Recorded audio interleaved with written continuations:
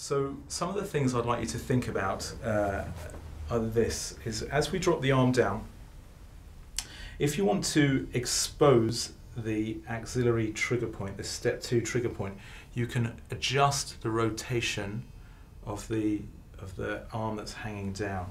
Uh, sometimes we can bring it all the way into uh, pronation and come a little bit deeper into that trigger point. And sometimes when you're on the trigger point, you can just start adjusting and playing with some of these points just to get the right spot. And when you've got it, then you can fix on it there.